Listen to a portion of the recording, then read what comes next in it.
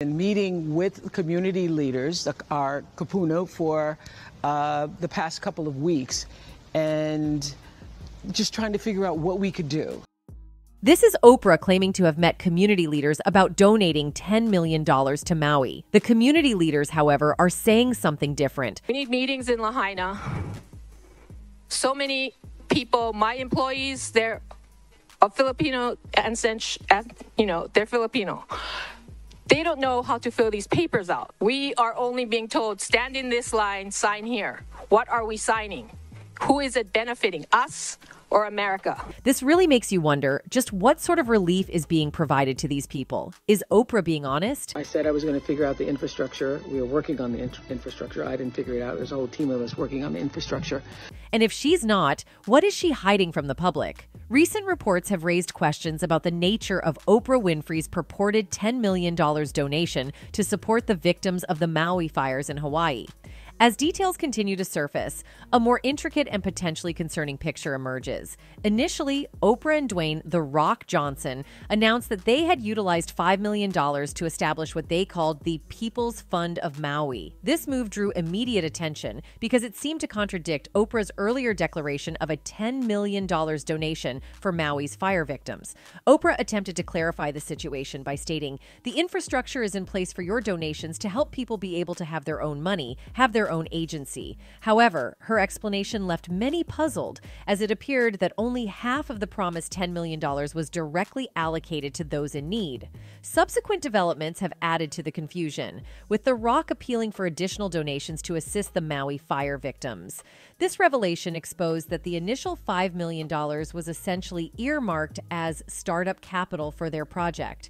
This prompts the question why are taxpayers now being asked to contribute when it was initially presented? presented as a substantial direct donation. We have created the People's Fund of Maui that. Why don't you just call up your good buddy Biden? He sent billions, hundreds of billions to Ukraine. In essence, it seems that Oprah and The Rock's $5 million was utilized to create a system to receive further donations, a process akin to launching a typical company. This raises doubts about whether the full $10 million was ever intended to provide immediate relief to the victims. Another concerning aspect is the revelation that the Maui Fund is owned and operated by the Entertainment Industry Foundation, EIF a nonprofit organization. EIF executives receive substantial salaries, with the president, CEO, and CFO earning significant annual sums. Additionally, 13 executives collectively earn $3.2 million each year, while lower level workers earn an average of $64,527 annually. These revelations have led to growing speculation regarding Oprah and The Rock's true intentions. Some are beginning to question whether this might be more of a publicity stunt, particularly considering the fund managed by EIF has reportedly only provided $1,200 to individuals in need. Furthermore, the offer to have taxpayers donate monthly adds another layer of uncertainty, suggesting that the $10 million initially attributed to Oprah and The Rock may have primarily served as startup capital for the fund, rather than immediate aid for the victims. The deadly wildfires that swept through Maui in August, causing widespread devastation and taking the lives of 115 people, have sparked controversy surrounding the response of two billionaires, Oprah Winfrey and Amazon founder Jeff Bezos. As of September 3rd, the fire in Lahaina had been contained, with the fires in Olinda and Kula being 90% and 95% contained, respectively, according to the County of Maui. Many people on the internet express skepticism about wealthy celebrities appealing to regular working people for additional funds. Some questioned why Oprah and The Rock didn't simply donate the money themselves, given their substantial wealth. This person tweeted Oprah is a billionaire hypocrite who could pay for the Maui damage herself. Instead, she's going after money from people who already have a tough time paying rent, mortgage, groceries, gas, kids' shoes, etc.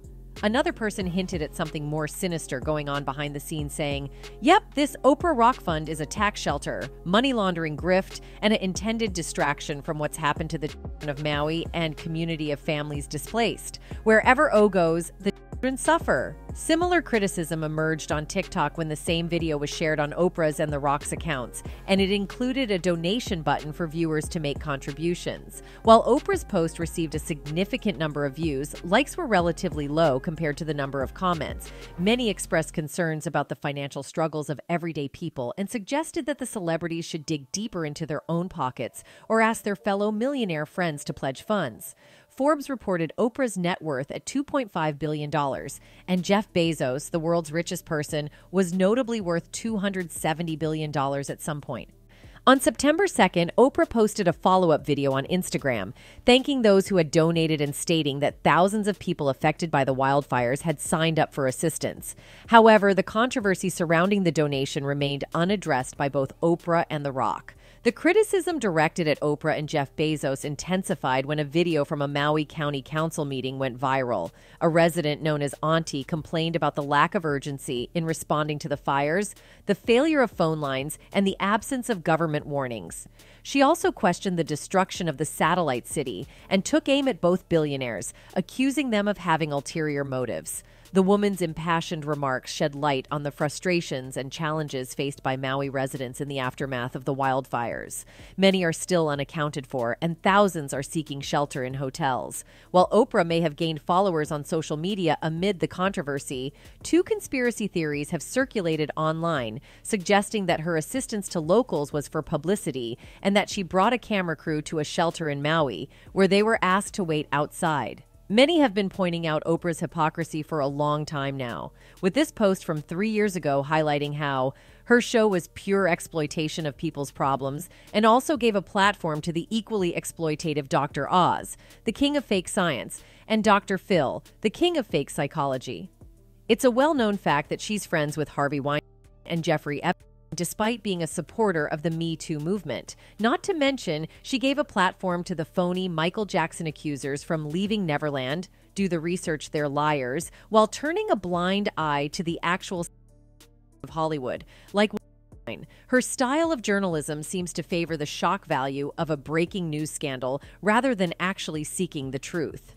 She gives firepower to Karens and other unsatisfied, wine drinking housewives who have nothing better to do than believe everything she says on her show.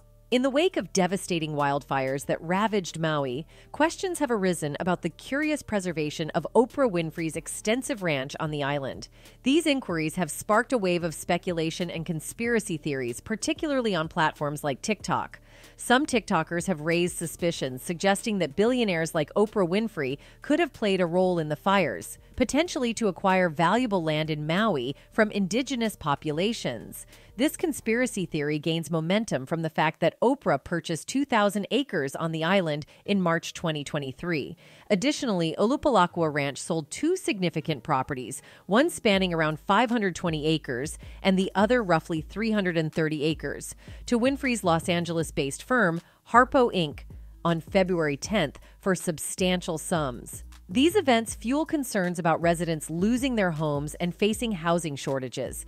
The most extreme version of this theory posits that the fires were deliberately set to force indigenous residents out of Maui, ultimately allowing the government to transform the area into an AI driven smart city. This narrative is linked to discussions related to a science conference held in Maui in January, which touched lightly on the concept of smart cities or 15 minute cities, urban planning ideas aimed at providing residents with with easy access to essential services within walking distance. It is also connected to an upcoming summit in Honolulu to discuss governance in the digital age. While there has been acknowledgement from government officials that climate change played a role in the fires, some theorists contend that the true agenda involves transforming Maui into an entirely smart island, marked by the adoption of electric, renewable, and solar energy, as well as the widespread use of electric vehicles in 15 minute smart cities. Social media has been awash with photos depicting what some claim to be space lasers causing destruction in the Hawaiian city. These images have garnered millions of views and further fueled conspiracy theories. Conversely, images showing trees still standing amidst the fire's aftermath have been cited as evidence that the fires were not of natural origin. Critics have pointed to these photos of space lasers, suggesting that they are proof of a direct energy weapon assault. One man on Instagram claimed that a friend in Hawaii captured a laser beam targeting the city from the sky. However, some skeptics argue that these laser like phenomena may simply be lens flares or artifacts of the camera, visible in varying patterns in other shots submitted to local papers. Among the most striking images is one depicting a sharp beam of light descending from a clear blue sky, seemingly igniting an oceanfront countryside in a cloud of white smoke. While these visuals have captured the public's attention, the debate rages on as to whether they offer concrete evidence or are merely products of conjecture in the midst of a devastating natural disaster.